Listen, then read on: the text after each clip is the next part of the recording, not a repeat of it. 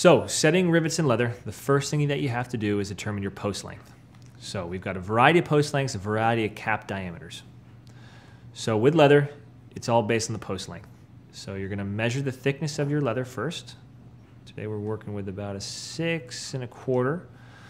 So, based on that, you want about two to three millimeters, rule of thumb, coming through the leather. So, this is our RV 9295. That means a 9.2 cap, 9.5 post, gives us about three millimeters coming through. So we're going to start with the punching the hole. You want a snug fit for the, the post going through the, uh, through the leather. You're going to put the cap on top. It clicks on. You're going to hear it click. That's what you want. So this is one of our hand tools. This is our basic setup. And we've made our tools to fit our rivets perfectly.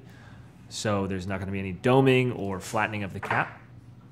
So two, three hits, you're set perfectly. You don't want to overhit it. You kind of want to go right in the middle, medium, medium strength hits. Our other tool, another hand tool, this uses our um, screw and die set and base. This is also going to be used with the hand press that you'll see later.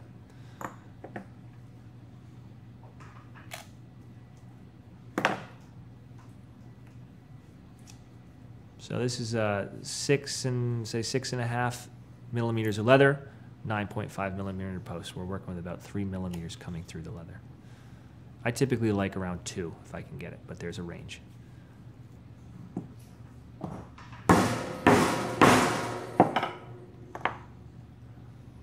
And the last tool that we have for setting is our hand press.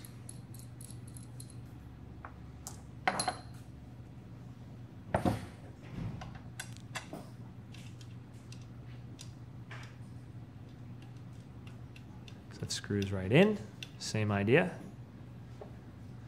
You can also use a hole punch for cutting through the leather.